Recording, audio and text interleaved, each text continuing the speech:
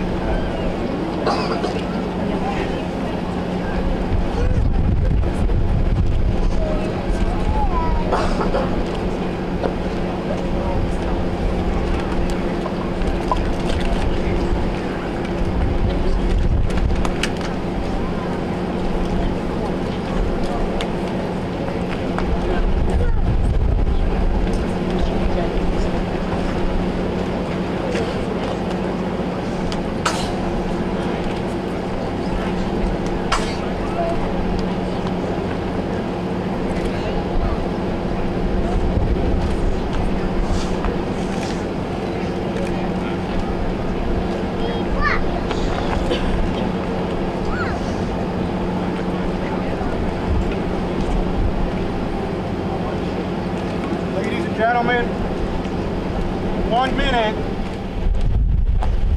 from now, 10 years ago, South Tower of the World Trade Center collapsed. One minute from now, Joplin, Missouri, we're going to raise and lift up the national 9/11 flag.